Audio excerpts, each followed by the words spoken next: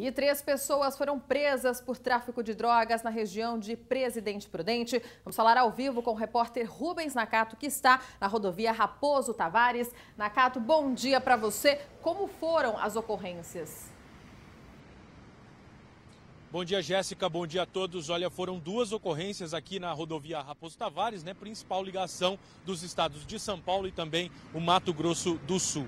Na primeira ocorrência, uma mulher de 31 anos foi flagrada aí transportando 17 quilos de maconha. E olha, tinha maconha e skunk também, viu, que é um tipo aí mais concentrado da droga. Ela viajava num ônibus que foi abordado pela fiscalização e o entorpecente encontrado em duas malas eram mais de 30 tabletes de maconha. A mulher, que é moradora de Fortaleza, no Ceará, disse aos policiais que não sabia que transportava o entorpecente. Ela disse que fez um programa com um homem, como ele não tinha dinheiro para pagar, acabou aí entregando as malas para ela como forma de pagamento.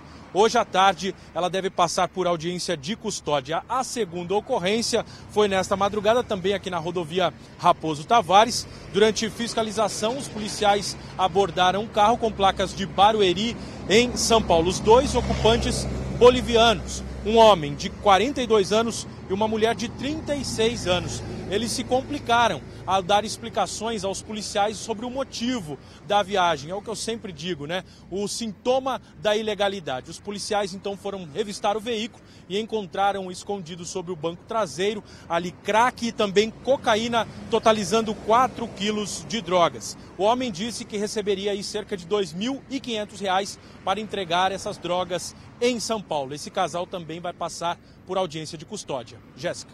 Tá certo, Nakato. Obrigada pelas informações. Um ótimo trabalho.